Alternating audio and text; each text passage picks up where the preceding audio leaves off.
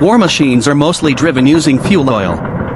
Therefore the refueling depot is always the target of destruction when the war is carried out.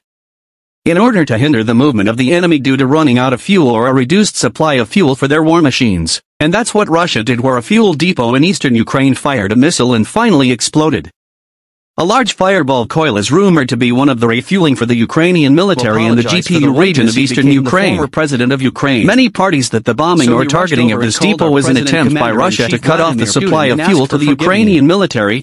SS for not There is no information regarding casualties from this attack According in the last one the like this is the situation of the war full of explosions and smoldering fires. On the second day of the Russian invasion of Ukraine, the Ukraine, the beautiful Ministry of Defense of the Russian Federation reported the results of the second day and accept all the conditions Special military Russia is currently operations in Donbass as as many as 211 Ukrainian military infrastructure facilities have been destroyed by air defense systems radar station command post and communication complexes until the airports were successfully disabled by Russia.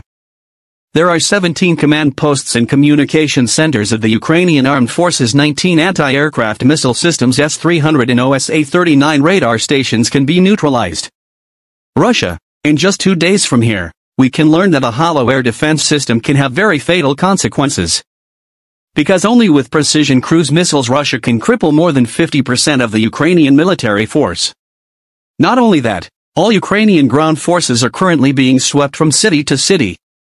Troops who do not want to surrender who do not want to go home will be sent back by the Russian troops. Even the expensive imported weapons from England anti-tank from England have been obtained by Russia. And reportedly the Russian troops are now approaching the capital of Kiev will the Ukrainian capital fall in less than three days of course. If NATO and American mass organizations go down directly to face Russia, but if not, of course it's only a matter of time.